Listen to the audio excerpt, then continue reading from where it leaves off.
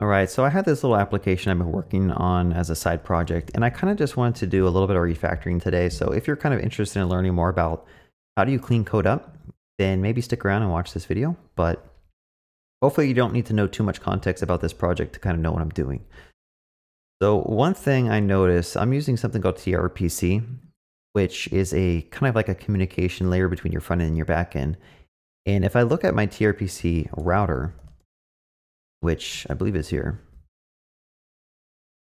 Uh, um, let's just look through here and see if there's ways that we can potentially clean this up a little bit. Um, and I'm sure there is. I'm still kind of new to this. And uh, yeah, anyway, so let's look at the let's look at the images router. So one thing that you can do on this application is you can upload an image like so. And that's going to upload to S3 and then display it. In fact, I'm not sure why that didn't work. Do I have a bug in my code? Let me refresh the page. There should have been two that popped up, but I'm not sure if maybe my... Oh, I didn't click upload. There we go. All right, so the image pops up here. And you can also remove this image if you want. So let's look at those endpoints. So I have an images router, which is what the front end is calling when I do that. And let's look at this. And let's see if there's ways that we can clean this up. So the first thing about making maintainable clean code is to try to find ways to remove duplicate logic. So these endpoints, if you notice here, we check if there's a session and then we get like a user ID. This code looks very similar, in fact, identical to this code. And I think I do it again down here. Okay, so that is a good sign that we need to refactor this code and dry it up right? Don't repeat yourself. Find ways to take duplicate logic that you're doing in different places and abstract it away, right? So this this is a good example of dry and wet as well. Wet is another acronym for write everything twice. Well, I've wrote it once here. I've wrote it twice here. I've wrote it three times. I think it's time to refactor this. So what we're going to do is we're going to try to figure out, I think there is a dot middleware function and I don't remember how to use this, so I'm gonna have to go to the docs. But basically, we want to kind of run some code. In fact, let's just go to trpc middleware. Sometimes you just have to go to the docs and learn. So let's go to here. There is a middleware function. This is how they call it. Let's just try to copy what they're doing and break it down and analyze it. So we're going to do something similar. Instead of checking if the user is admin, we want to check to make sure that there is a context in a session. Okay, so we're going to go ahead and do this. And this says you must be logged in. So at this point, everything that's in this router, I think I could just basically delete that. Um, I could delete this. And then I could delete this. Now, because I'm using TypeScript, there is an issue where like now it doesn't think that this is defined, but I know it's defined. So technically I could put an exclamation mark here or something, but I'll just put question marks because I think that's going to be better. Uh, you know, I'm going to say session is equal to context.session and I'm just going to put the exclamation mark because why not? Let's just do that. Let's clean up this code just a little bit. Do the same thing. I might just turn off that linter rule because I think using the exclamation mark is kind of important. Okay, so we've cleaned that up. Um, another thing, let's see if there's a way that we can basically, I don't know if we need to get the user ID set up, but what we could potentially do is maybe we can uh, like just attach the user ID directly here instead of having to do this. Or like, I, I wish there's a way to like tell the middleware, I'm not good with TypeScript, I'll be honest, but just tell the middleware that yes, when this thing's done, context will be modified and it'll look a little bit different. So I mean, we can kind of look through this and see like what's up.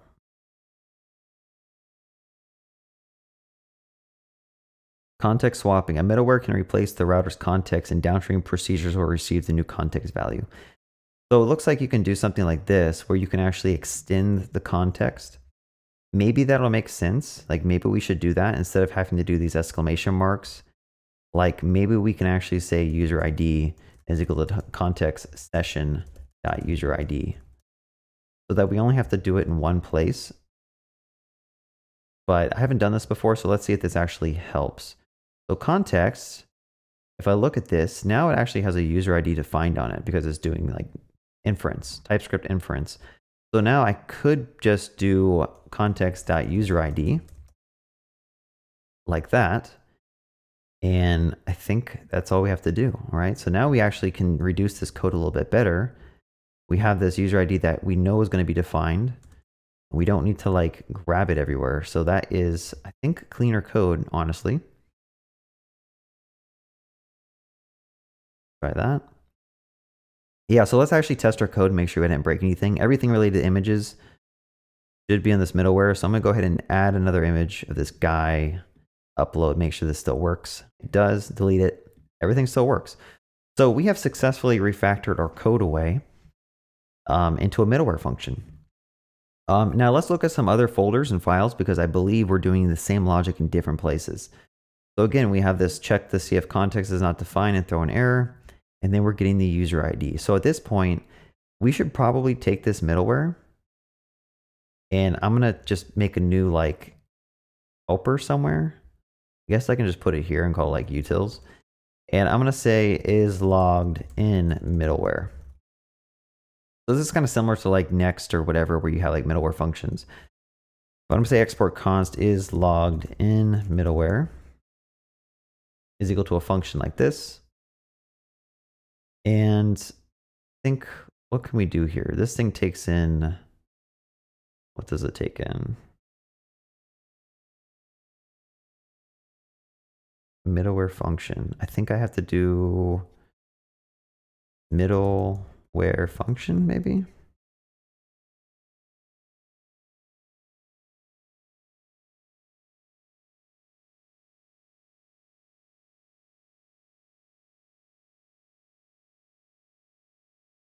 Let's go back to the docs. Maybe there's an easy way to abstract this away. Um, I'm so bad at TypeScript. Like I'm still trying to learn. So like sometimes I don't understand like how I can type certain things. Um, so if I hover over this middleware, this thing is a type of, I don't know. What is it a type of? Router,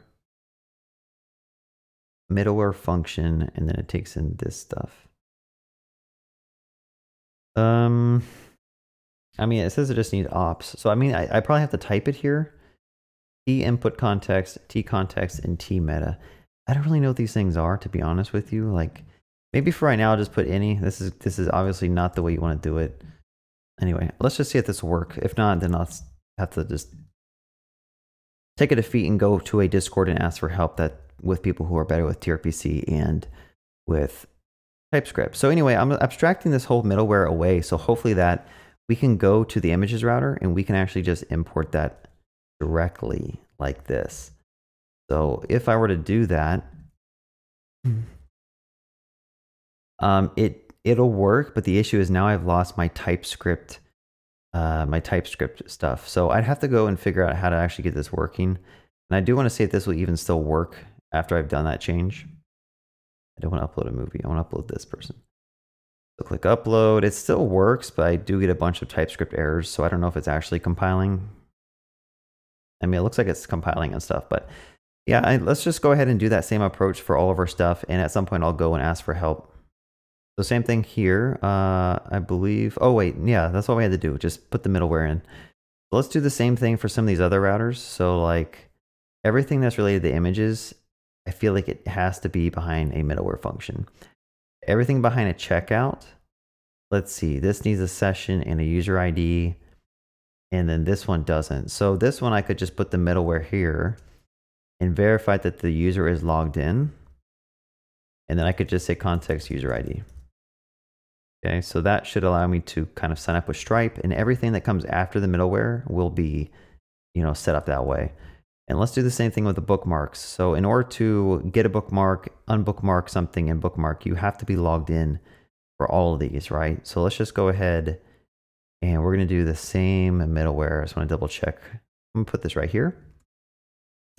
And then we should have access to the user ID. So context user ID. Go ahead and auto import that. And we're going to go ahead and just delete some of the stuff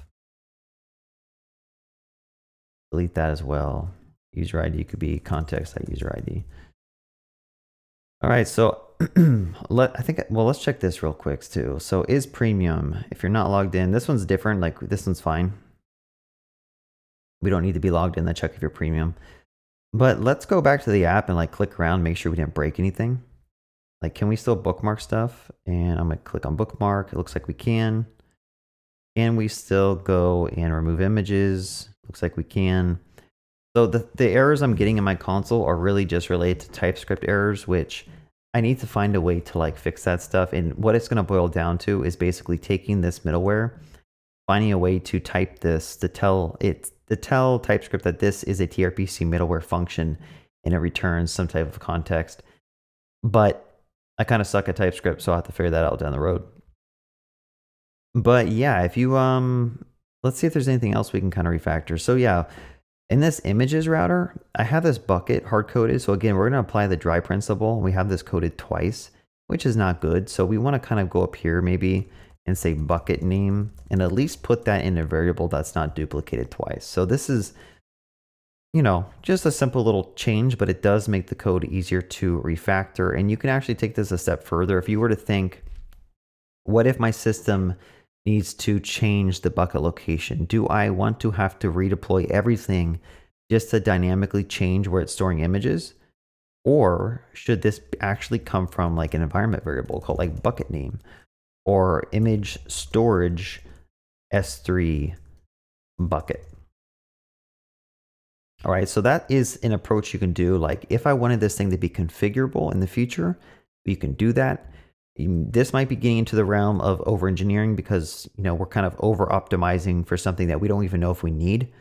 But it's usually good to configure things like this to be coming from the environment variable, just in case you ever need to change what bucket you're storing stuff in. Um, let's keep looking through this. Is there anything else that is like super um, hacky or could be refactored or is duplicate logic? Look at this promise stuff. Let's see if this thing looks like it's getting out of hand. Oh, this has a bucket name here. So bucket name. Uh, these things could also be configured from the command line or from environment variables if you wanted to. I think it's fine just to keep them as is and just do a redeploy. Usually deploying stuff is super easy and cheap to do. So it's like don't don't add too many configurations to your app unless you truly know that they're going to be needing to change often in my opinion. But if it's something that you can just keep hard coded and change it, like maybe you want to kind of abstract this away and call this like expire time is 30. Or I could do like document or uh, I'll say upload expire time. No, upload time window. Uploading time limit. Sorry, sometimes when I name stuff, I jump around. Uploading time limit. Like, maybe this is more understandable than what I was doing before. And this one could be called like upload max file size. Okay, I could go up here and say upload max file size is equal to that. So now like everything that's configurable is at the very top of this file and it makes it a little bit easier. Again, you could probably make a single config file and have these things imported from either environment variables or just hard coded like this. It just makes it easier than I have to dive through the code base just to change a quick little configuration. Let's say someone tries to, a lot of users keep uploading files and they keep timing out because a lot of people are trying to upload like high resolution images. Well, maybe I just want to come in here and just bump this up to two megabytes. It makes it really easy to just do that and find that code. But yeah, is there anything else that uh, we can kind of refactor here? I think this code is a lot cleaner than it used to be. So I think we've we've made some progress. Anyway, I think that's all I want to show you in this video. Is just you know do a quick little refactor session, show you my thought process of how I clean up some code, and just kind of force myself to go through here and clean up this code base. But if you have any uh, any questions about what I did, leave a comment. Otherwise, have a good day and happy coding.